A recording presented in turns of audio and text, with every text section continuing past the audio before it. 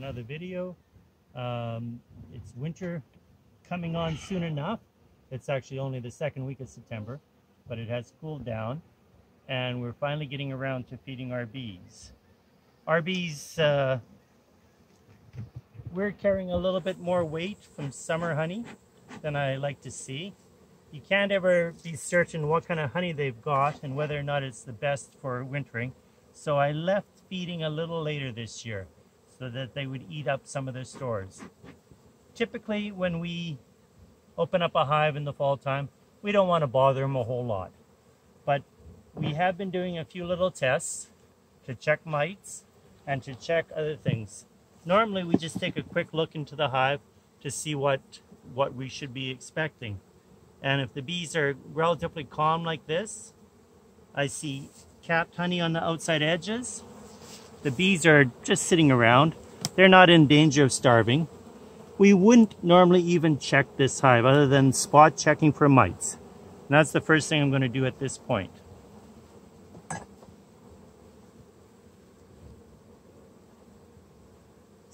Carefully taking out a frame. I don't usually recommend taking one from a center, but I'm being a little lazy.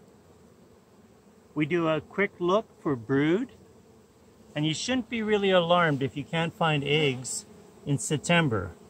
Often enough, the queen is already shut down, depending on your local conditions.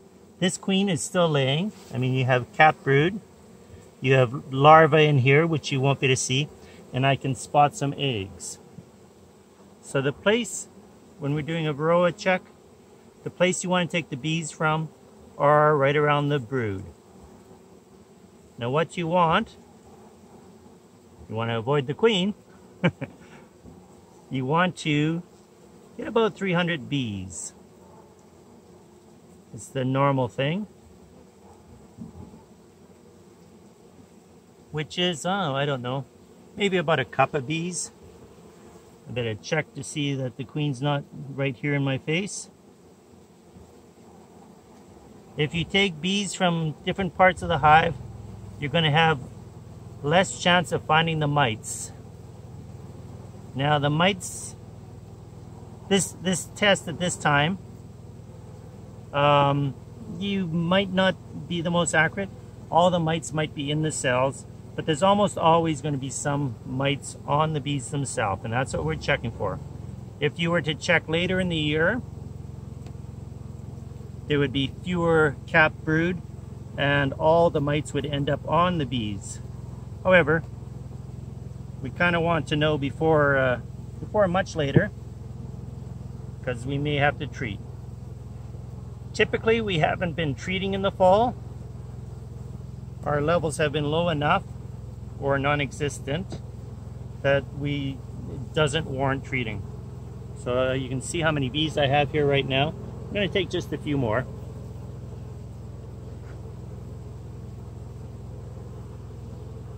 While I'm taking out a frame, I am also looking for problems in the brood.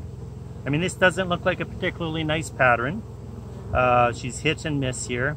This happened to be one of my, my nurse hives. They were struggling. So it could be that the queen is not the greatest queen. Uh, queen. um, but what I want to look for is any signs of disease. And this actually all looks healthy uh, no scale, no AFB. But it's something every time you take out a frame of your brood nest, just keep a thought in mind of, of checking for disease. So I'm going to put it back in. So one thing that that you want to avoid at all costs this time of year is robbing. We've put in entrance reducers. Your hive bottoms are a little different, but uh, more or less the same so that they have a small opening here or on the edges. They can guard better. The lid has to be down and fitting nicely. So we check around to make sure that there's no, no big gaps where the bees could get robbed out. A little bit of propolis is what they're building up and they'll, a good hive will build up quite a bit of propolis to seal up any little cracks but it's always nice to make sure everything's tight. So this hive looks pretty good. Um, people ask how, how much to feed. Typically we're feeding commercially with these pails and a single like this would probably take two pails depending on on how much uh, weight they're carrying from the summer. I like, sometimes I, I step on a scale with one of these things. This, you step on a scale, you should be weighing about 75 pounds extra if you just pick it up like this. Now if it's 65, you're kind of taking a big risk that, that they're not going to have enough feed. Last year I did winter some through this through the winter at 65 pounds, um, but they didn't do as well as the ones at 75 or 85. I'm going to do a quick shake on this. These bees are in windshield washer antifreeze, winter strength.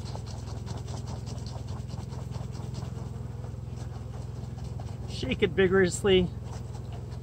If you happen to be uh, uh, in the Saskatoon area or someplace close, you can bring a sample to me and I can I can do a, a sample uh, and a shake. So what's happening here? The mites are getting washed off these bees. There's a screen between these two bottles and the mites will drop down into the bottom bottle. And this is exactly what I want to see, not a single mite. Now that's uh, just one test. Uh, I'm certainly not going to pretend that there's not a mite in my operation because I know there's going to be some someplace. But with 300 bees or so, you know, you could probably economically, if you've seen three mites on 300 bees, it's not worth treating. But what you want to do is find none. Now, to the pails. This pail is filled with syrup, right full. It's got a little screen here with some holes. We invert this pail over top of the hive, our little hole that we've cut. And when you first invert it, a little syrup comes out, creates a suction in this pail, and then it won't come out very quickly unless the bees suck it down. So a full pail uh, creates a suction faster. If you only have a half pail, it gurgles out quite a bit of honey. I am gonna, that's a pail feeder. Syrup. Syrup, not honey. Sorry, honey. Syrup. Uh, I said honey, but I mean syrup. We're gonna just introduce you a little bit to hive top feeders. These particular hive top feeders were made for, for my nukes, but they work also on top. There's a couple different designs of hive top feeders out there. Um,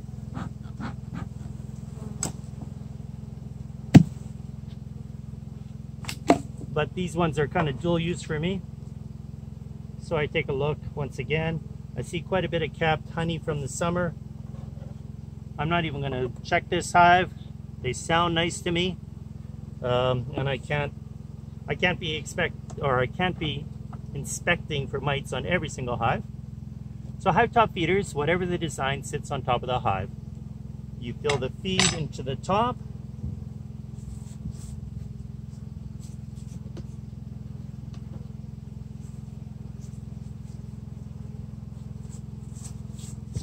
These particular ones use floats.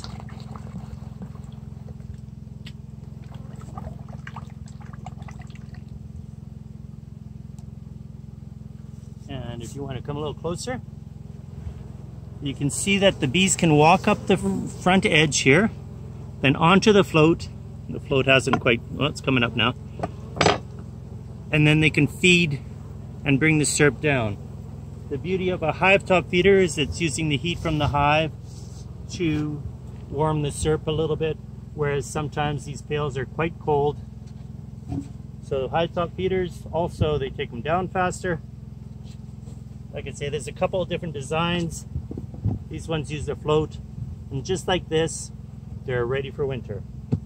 Also aiming for uh, 75 or 80 pounds. Ideally, you would have even a little bit more, but that's about it. And still no mites showing. And that's a cut.